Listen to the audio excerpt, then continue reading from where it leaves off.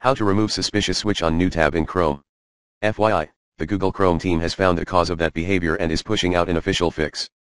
Please kindly note that the fix is rolling out now automatically, and no additional steps are actually needed, just keep your Google Chrome up to date. Your new tab pages will be back to normal soon. Smiley face.